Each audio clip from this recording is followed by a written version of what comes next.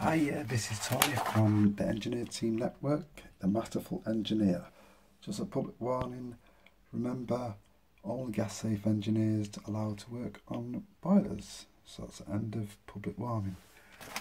Problem with this boiler, and um, we're going to look at some common faults on this particular boiler. This boiler today is a Glow Flexicom 15HX.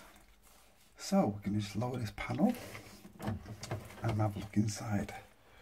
So the problem with this, I could get other problems with the boiler, is right under here, you've got this sensor. And actually this is a problem with this boiler. We've got a sensor here and further up behind, well at the top, you've got another sensor there.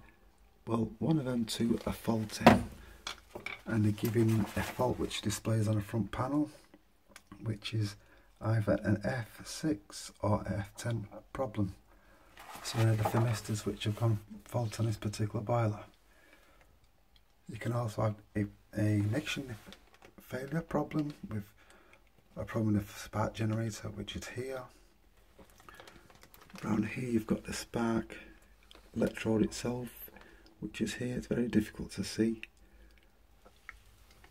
Also you can have a fan problem fan is located here. Also gas valves could go faulty, you've got a gas valve there as well. This is the main heater exchanger in that area.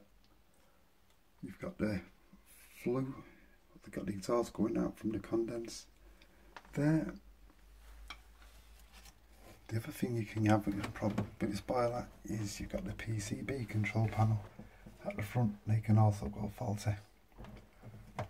So if you've got any problems with your boiler just click on the link below and click on the website. That's me, Tony from the Engineer Team Network. Thanks for listening.